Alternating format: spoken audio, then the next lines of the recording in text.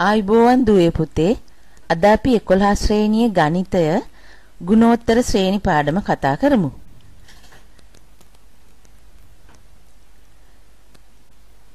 ඕගොල්ලෝ දැකලා ඇති අපි කලින් කතා කරලා තියෙන සමාන්තර ශ්‍රේණි ගැනනේ. එතකොට සංඛ්‍යාවක් එකතු වෙවි ඊළඟ ශ්‍රේණිය පදය හැදෙනවා. අපි දැන් මේ බලන විදියට කිසියම් සංඛ්‍යාවකින් ಗುಣ කිරීමෙන් ඊළඟ පදේ හැදිච්ච ඒවා ඔයගොල්ලෝ දැකලා ඇති. යම් සංඛ්‍යාවකින් ಗುಣ වෙවි ಗುಣ කිරීමෙන් ඊළඟ පදේ හැදෙනවා. අපි බලමු උදාහරණයක් 3 6 12 24 48 96.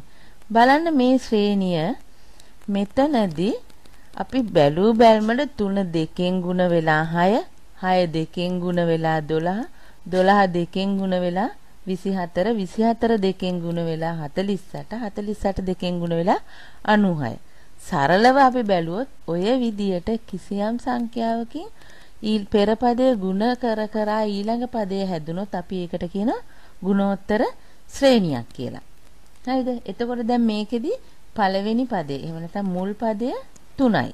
මේක ಗುಣ කලේ කීයෙන්ද දෙකෙන්නේ. නේද? එතකොට දෙක කියන සංඛ්‍යාවෙන් පෙර පදයේ ಗುಣ වෙවි තමයි ඊළඟ පදේ හැදුනේ. එහෙමත් නැත්නම් තව විදියකින් අපිට කියන්න පුළුවන් පළවෙනි පදේ නැතුව අනිත් හැම පදයක්ම ඊට පෙර පදයෙන් බෙදුවහම ලැබෙන අගය එකමයි. බලන්න මෙතන 6 6 3ෙන් බෙදුවාම පිළිතුර ලැබෙන්නේ 2. 12 6ෙන් බෙදුවාම පිළිතුර ලැබෙන්නේ 2. 24 12න් බෙදුවහම පිළිතුර ලැබෙන්නේ 2. 48 24න් බෙදුවත් 2. 96 48න් බෙදුවත් 2.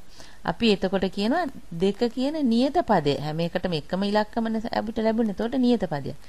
පෙර පසුපදයේ පෙර පදයෙන් බෙදුවම නියත අගයක් ලැබෙනවා. එහෙම වුණොත් අපි මේ වගේ ශ්‍රේණි වලට කියනවා ගුණෝත්තර ශ්‍රේණියක් කියලා. පැහැදිලිනේ? දැන් මේ ගුණෝත්තර ශ්‍රේණිය අර පෙර පදයෙන් බෙදුවහම ලැබෙන නියත අගයට අපි කියනවා පොදු අනුපාතයක් කියලා. හරිද? බලමු අපි දැන් නිදසුනක් කතා කරමු. අපිට දෙනවා 2 6 18 54 ගුණෝත්තර ශ්‍රේණියක්ද කියලා පරීක්ෂා කරන්න ඕනේ. අපි එහෙනම් මොකද්ද කරන ක්‍රමේ? පසුපදයේ පෙර පදයෙන් බෙදන්න. 6 දෙකෙන් බෙදුවාම 3යි. 18 බෙදන්න ඕනේ 6ෙන් එතකොට. 18 6ෙන් බෙදුවම 3යි. 54 18ෙන් බෙදන්න ඕනේ. එතකොට පිළිතුර 3යි. මේ අගේ නියත අගයක් ලැබුණේ නේ. පෙර පසුපදයේ පෙර පදයෙන් බෙදුවම ලැබෙන්නේ නියත අගයක් නම් ඒ ශ්‍රේණිය ගුණෝත්තර ශ්‍රේණියක් කියලා කියනවා. එතකොට මේක මේ නියත අගය තමයි පොදු අනුපාතය කියලා කියන්නේ. මේ ආන්ට අදාළව පොදු අනුපාතය 3යි. මේ 6 දෙකෙන් බෙදුවත් 18 6ෙන් බෙදුවත් 54 18ෙන් බෙදුවත් ලැබුණේ 3 කියන එකම නියත අගය. එහෙනම් මේක ගුණෝත්තර ශ්‍රේණියක් පොදු අනුපාතය 3යි. බලමු ඊළඟට මේක බැලුවාම අපිට ක්‍රමයෙන් අඩු වෙවි ගිහිල්ලා තියෙන්නේ. හැබැයි මේක ගුණෝත්තර ශ්‍රේණියක්ද කියලා අපි දන්නේ නැහැ. එහෙනම් අපි අර විදියටම මේ දෙක අතර අනුපාතය කියන්නේ බෙදලා බලනවා. පසුපදේ පෙර පදයෙන් බෙදනවා. එතකොට මේකේ තුල්්‍ය භාග වලින් අපිට බිංදු දෙක ඉවත් කළාම දෙකෙන් එකයි. ඊළඟට 50 බෙදනවා 100ෙන් දෙකෙන් එකයි. මේ දෙකේ නම් ආව අපිට පොදු අනුපාතයක්. බලන්න ඊළඟ එක 20 50ෙන් බෙදුවාම පහෙන් දෙක ලැබෙන්නේ. එතකොට මේ අගයන් තුන දෙන්නෙක් සමාන වුණාට එක්කෙනෙක් අසමාන වෙලා තියෙනවා. එහෙනම් පොදු අනුපාතයක් නෑ මේ අනුක්‍රමයට. ශ්‍රේණියක් කියන එකම තමයි අපි මේ අනුක්‍රමයක් කියලා කියන්නේ. එතන මේ අනුක්‍රමයට පොදු අනුපාතයක් නෑ. නම් පොදු අනුපාතයක් නේ කියන්නේ නියතගයන් නැති නිසා අපි කියනවා මේක ගුණෝත්තර ශ්‍රේණියක් නෙමෙයි කියලා. බලමු අපි ඊළඟ නිදසුන 5 ඍණ 10 20 ඍණ 40 80. දැන් උන මේ ශ්‍රේණියට ඍණ පදත් එකතු වෙලා තියෙනවා. ඒත් අපි අර ක්‍රමයෙන් බලනවා. පසුපදය පෙර පදයෙන් බෙදනවා. එතකොට පොදු අනුපාතය හොයාගන්න පුළුවන්. එතකොට ඍණ 10 පහෙන් බෙදුවාම පිළිතුර ලැබෙන්නේ ඍණ 2යි. ඍණයි ධනයි බෙදුවම ඍණ. ඊට පස්සේ 20 බෙදන්න වෙන්නේ ඍණ 10. ඒත් පිළිතුර ඍණ 2. 40 බෙදන්න වෙන්නේ ඍණ 40 බෙදන්න වෙන්නේ 20ෙන්. එතකොටත් ඍණ 2. 80 බෙදන්න වෙන්නේ ඍණ 40ෙන්. ඒත් එන්නේ ඍණ 2. එහෙනම් මෙතන අපිට ලැබෙනවා පොදු අනුපාතය, ඒ කියන්නේ නියත අගය ඍණ දෙකයි කියලා. හැම එකටම ඍණ දෙක ලැබුණේ. ඒ කියන්නේ පොදුයි. එහෙනම් මේක ගුණෝත්තර ශ්‍රේණියක් වෙනවා. එතකොට මේකේ පොදු අනුපාතය ඍණ දෙක වන ගුණෝත්තර ශ්‍රේණිය. බලන්න දැන් අපිට හැම වෙලාවෙම මේක එක එක ගණන් දෙනකොට වෙනස් කරලන් දෙන්නේ මේ ගානේදී අඥාතයක් ඇතුළත් වෙලා තියෙන එක පදයක් විදියට 4x 16 කියලා තියෙනවා ගුණෝත්තර ශ්‍රේණියක් කියලා. ගුණෝත්තර ශ්‍රේණියක අනුයාත වේ කියන්නේ එක ළඟ පිහිටි පද. එහෙනම් x වල අගයයි හොයන්න කියන්නේ. දැන් ගුණෝත්තර ශ්‍රේණියක් නම් කියලා තියෙනවා අපි එතකොට දන්නවා මේවා අතර පොදු අනුපාතයක් තියෙනවා. එහෙනම් පොදු අනුපාතය හොයාගන්නේ කොහොමද? පසුපදයේ පෙරපදයෙන් බෙදලා. එහෙනම් x කියන එක 4ෙන් බෙදුවාම ලැබෙන උත්තරේම තමයි අපිට 16 කියන එක x වලින් බෙදුවාම ලැබෙන්නත් ඕනේ. දැන් මෙතන සමීකරණයන්නේ අපිට ලැබෙන්නේ. එහෙනම් මේ සමීකරණය විසඳලා x හොයනවා.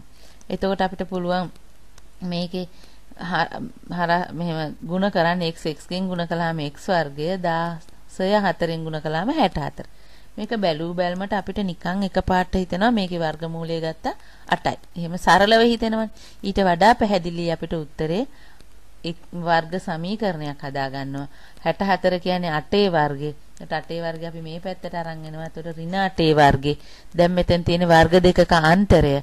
එහෙනම් x වර්ගයේ ඍණ 8 වර්ගේ වර්ග දෙකක අන්තරේ සාධක ලියනවා. එතකොට එකක් x ඍණ 8 අනිත් එක x ධන 8. දැන් අපිට එහෙනම් මෙතන ලියන්න පුළුවන් මෙතන x ඍණ 8 සමානයි බිඳුව කියන එක අපිට x සමානයි ධන 8 කියන පිළිතුර ලැබෙනවා. මෙතන x ධන 8 සමානයි බිඳුව කියන එක විසඳුවාම x සමානයි ඍණ 8 කියන පිළිතුර ලැබෙනවා. එහෙනම් අපිට මෙතන පිළිතුරු දෙකක් ලැබෙනවා. එහෙනම් x වෙනුවට අපි 8 දාලා හැදුවොත් මේ ශ්‍රේණියට 4 8 16 කියන එක ගන්න පුළුවන්. එතකොට පොදු අනුපාතය දෙකයි. එහෙම ගුණෝත්තර ශ්‍රේණියක් හදන්නත් පුළුවන්.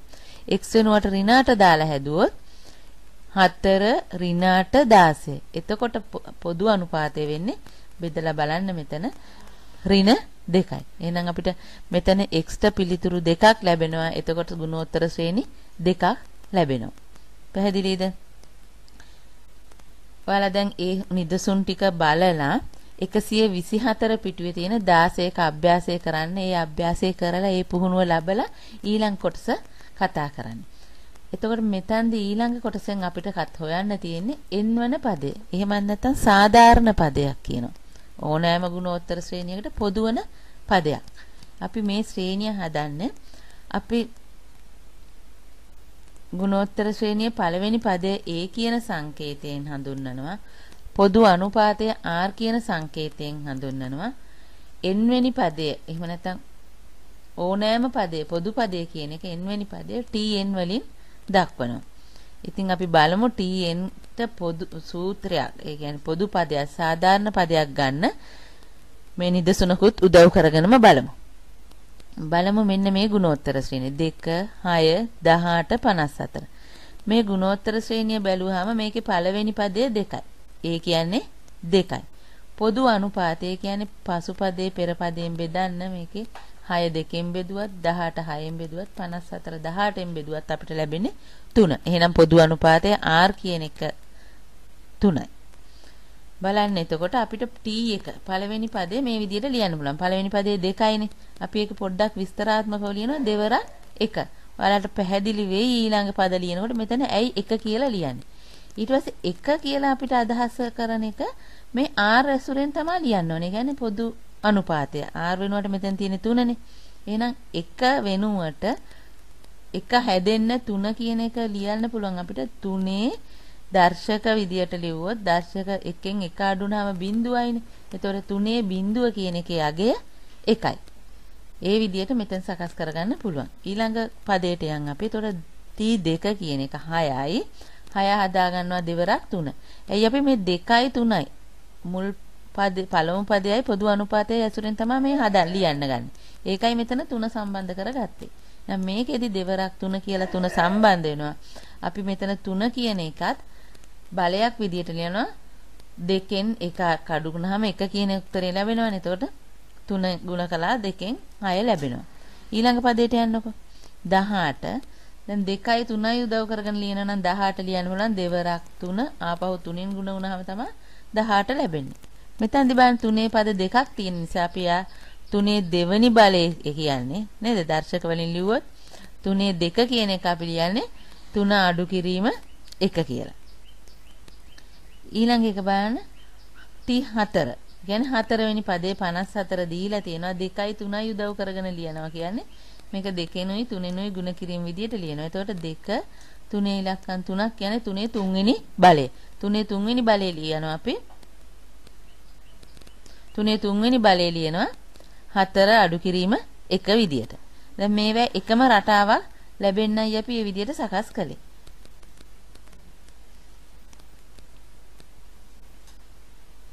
බලන්න එතකොට අපි මේ ලියාගත්තු ඒවා ඒ අකුරයි ආර අකුරයි උදව් කරගෙනවත් ආපහු ලියමු. දැන් පළවෙනි පදේ ඒ කියන්නේ දෙකනේ එහෙනම් දෙක වෙනුවට දැන් ඒ ලිව්වා. තුන කියන්නේ r නේ පොදු අනුපාතනේ. r තුන වෙනුවට r ලිව්වා. දෙවෙනි පදේටත් යන්නකො. ද දෙකයි තුනේ පළවෙනි බලයේ තියෙන්නේ. එහෙනම් මෙතන අපි a r වල දෙකරින අඩු කිරීම 1. t3 තුන්වෙනි පදය මෙතන අපි දෙක වෙනුවට a r වෙනුවට 3 වෙනුවට r. එතට r වල තුනෙන් දෙකක් අඩු වුණා. හතරවෙනි පදෙත් ඒ විදිහටම ලියත හැකි 2යි 3යි උදව් කරගත්තාම 2යි 3යි වේදුනාට A අකුරයි R අකුරයි දාගත්තා. එතකොට AR R වල හතරේ රින එක කියලා ලියත. මේක දිහා බැලුවහම දැන් මේ අපි AR ඇසුරෙන් ලියපු එක දිහා බැලුවහම පොඩි රටාවක් තියෙනවා. පළවෙනි පදේ තියෙනවා හැම එකෙම පොදු අනුපාතයේ තියෙනවා. මෙන්න මෙතන තියෙන අගේ තමයි වෙනස් වෙන්නේ. මෙන්න මේ දර්ශකය තමයි වෙනස් වුනේ. දර්ශකයේත් හැම එකෙම එකක් අඩු වුණා. හැබැයි මෙන්න පළවෙනි දර්ශකයේ තියෙන එක තමයි වෙනස් වෙලා තියෙන්නේ. 1 2 3 4. බලන්න ඒක අපිට ලැබෙනවා මෙන්න මෙතන පදයේ අගේ 1 2 3 4. මෙතන එක පදයේදී පළවෙනි පදයේදී තන්ට ආවේ 1. දෙවෙනි පදයේදී මෙතන දර්ශකයේ උඩට ආවේ 2. තුන්වෙනි පදයේදී R වල මෙතන උඩ දර්ශකයේ මුල් එකට එන්නේ 3. හතරවෙනි පදයේදී 4. එහෙනම් මෙතන මෙතන පොදු පදේ අපි n පදේ කියලා ගත්තොත් නේද n කියලා ගත්තොත් මෙතන මේ r වල මෙන්න මේ දර්ශකයට දාන්න පුළුවන් n කියලා. එහෙනම් අපි පොදු පදයේ විදියට නැත්නම් සාධාරණ පදයේ විදියට අපි ගන්නවා tn සමානයි ar n ඍණ 1 කියන එක. එහෙනම් පළමු පදයේ a පොදු අනුපාතයේ r උණ ගුණෝත්තර ශ්‍රේණියක n වෙනි පදය අපිට ලැබෙනවා tn සමානයි ar n ඍණ 1 කියන සූත්‍රය මගින්. නම් මේක මතක තියාගන්න මේක මතක තියාගෙන අපේ ගණන් හදද්දි මේක කෙලින්ම යොදන්න පුළුවන්. මේ සූත්‍රය කෙලින්ම යොදන්න පුළුවන්. බලමු අපි නිදසුනකින් කතා කරලා අපිට කියනවා මුල් පදයේ 3යි පොදු අනුපාතයේ 2යි මේ ගුණෝත්තර ශ්‍රේණියේ පස්වෙනි පදය හොයන්න කියනවා. අපිට මේ අකුරු මේ මුල් පදයේ කියන එකට ඒ කියලා ආදේශ කරගෙන එහෙම ලියන්න පුළුවන්. ඒ සමානයි 3යි. පොදු අනුපාතය කියන්නේ r නේ. එතකොට r සමානයි 2යි. පස්වන පදේ කියන්නේ අපි එහෙනම් n වෙනුවට යොදා ගන්න ඕනේ 5. දැන් අපිට හොයන්න කියන්නේ පස්වෙනි පදේනේ. එහෙනම් t t 5 කියන එක තමයි අපි හොයන්න ඕනේ. දැන් පොදු පදේ සූත්‍රය ලියා ගන්න. හැම වෙලාවෙම මේ සූත්‍රය ලියලා ආදේශ ගන්න පුරුදු වෙන්න. එහෙනම් t n වෙනුවට 5, a වෙනුවට 3, r වෙනුවට 2. මෙතන දර්ශකයේත් n වෙනුවට 5. එතකොට බලන්න 3 ಗುಣ කිරීම දෙකේ 4 දෙකේ 4 වෙනි බලය කියන්නේ 16යි. තුන් වරක් 16 කියන්නේ 48යි. එහෙම නිසා පස්වෙනි පදය 48යි. පැහැදිලිද? තව නිදසුනකට යන් අපි. මේකෙත් අපිට කියනවා පස්වන පදය හා හත්වන පදය සොයන්න කියලා. මේ ගුණෝත්තර ශ්‍රේණියත් අඩු වෙවි යන එකක්. බැලු බැලමට අපිට එකපාරට මේක පොදු අනුපාතය මොකද්ද කියලා හිත පේන්නේ නැහැ. ඒ වුණාට අපිට හොයාගන්න පුළුවන්. පළවෙනි පදය ඒ කියන්නේ 81යි. දැන් මෙතන පොදු අනුපාතය හොයාගන්න පසු පදේ පෙර පදයෙන් බෙදනවා.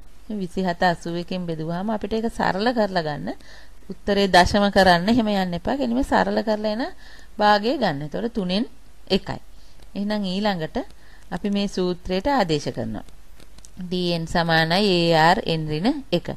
n වෙනුවට 5 අපිට පස්වෙනි පදේන ඉස්සෙල්ලා හොයන්න ඕනේ නම් n වෙනුවට 5 a වෙනුවට 81 මෙතන r කියන එකට සම්පූර්ණයෙන් අර භාගය ලියනවා 3න් 1 මේ 5 5 අඩු කිරීම එක කියන එක එතකොට ඒකෙන් පිටත තමයි ලියන්නේ එහෙනම් දැන් අපි මෙතන පහෙන් එකක් ගියාම 4යි. මේකෙත් එකේ 4 වෙනි බලය 1යි. තුනේ 4 වෙනි බලය 81යි. දැන් 81 අපිට ඉවත් වෙලා පිළිතුර 1 කියලා ලැබෙනවා. එහෙනම් පස්වෙනි පදය 1යි. ඊළඟට අපිට හොයන්න ඕනේ 7 වෙනි පදේ. එතෙන්දී අපි එහෙනම් n වෙනුවට 7 ආදේශ කරනවා. එහෙනම් t7 සමානයි a වෙනුවට 81යි r වෙනුවට 3න් 1යි n වෙනුවට 7 ආදේශ කළා. 7න් එකක් අඩු කළාම අපිට 6 කියලා ලැබෙනවා. එතකොට මෙතන 1 6 වෙනි බලයයි 3 6 වෙනි බලයයි ලියා ගන්න ඕනේ. එතකොට අපිට මේ දෙක 81යි 729යි කියන එක සරල කරලා කපලා ගන්න පුළුවන්. 81 ඒවා 9ක් තියෙනවා මෙතන 729ට එහෙනම් 9න් 1යි. එහෙනම් 7 වෙනි පදය 9න් 1යි. ඕගොල්ලෝ මේ උදාහරණ ටික කරලා හොඳට ඒ ටික අධ්‍යයනය කරලා 16 දෙක අභ්‍යාසය කරන්න 126 පිටුවේ තියෙනවා. ඒ ටික කරලා අපි ඊළඟ කොටසට කතා කරමු. අද පාඩමට සහභාගී වූ ඔයාලට ස්තුතියි. ආයිබෝවන්.